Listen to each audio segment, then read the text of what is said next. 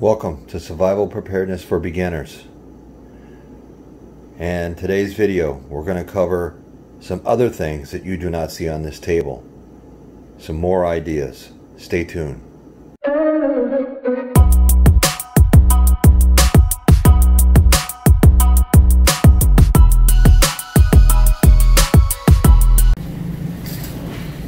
Lord have mercy. Soup aisle. I think it's uh, Armageddon or something.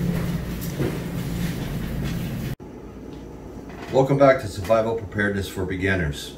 My name is Charles. Welcome to my channel. Now, in the previous video I did, I talked about these products and stuff that are on this table. Now, what I want to bring people aware of, uh, a few different things.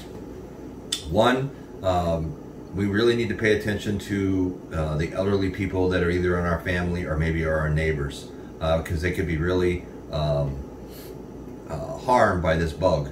And if they need stuff from the store or something like that, uh, help them out and maybe go over and see if, you know, uh, you can go try to pick up stuff for them, uh, even if it's maybe their medicine, something along that lines maybe you have enough supplies where you can share a little bit with them or if you cook a meal take them over a meal um, another thing I want to cover on uh, is uh, your emergency backpack that I've talked about in several of my different videos um, you always want to make sure you have this emergency backpack ready to go just in case for some unreason uh, you are evacuated um, also remember besides having your emergency backpack ready make sure that you have your first aid kit also stocked and ready.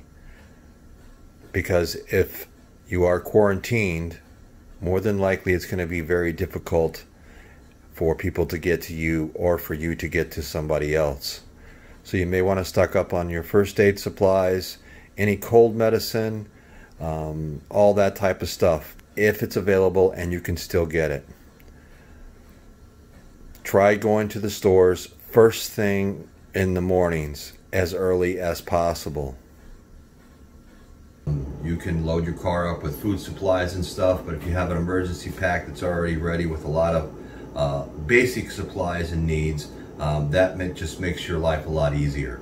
So having your emergency backpack all set up and ready to go is another plus. Um, I also want to talk about what people, instead of, if you can't get canned goods, canned vegetables of any kind. Um, a great thing that you can do, and a lot of people out there that homestead can, if, if you can can them, great. If you don't have that option of canning, um, something to remember that you can do is you can buy fresh vegetables, you can blanch them in hot water, and then put them in an ice bath to stop the cooking, and cut them up and put them into freezer bags. And this way here you can put them in your freezer and they will store for quite a while and you have fresh vegetables whenever you know the time comes that you may need those. And it's something that if you do purchase uh, you will be able to use for you know 30 30 days or so you know it depends on what kind of bags you use. If you have a vacuum sealer uh, I would say they would last quite a long time. Uh, but that was just a great idea that um, actually my wife had brought up to my attention um, and I wanted to get that out there. So if you can't go out and you can't get canned goods and things like that, see if you can buy some uh, freezer bags at the least and pick up some fresh vegetables and stuff because you can get green beans, uh, you can get corn, you can get all different types of, of vegetables and you can just blanch them, peppers, you know, anything. You just blanch it for just a minute and then put it into an ice bath and then you can take and bag it up from there and put it into your freezer and to make sure that you have fresh vegetables for your family. Um, on top of all these products that I already did cover in, in a previous video, um, you just want to make sure that you're being safe out there and uh, uh, just remember to have patience. But I just wanted to bring these few quick tips to you and uh, my name is Charles. Uh, this is Survival Preparedness for Beginners.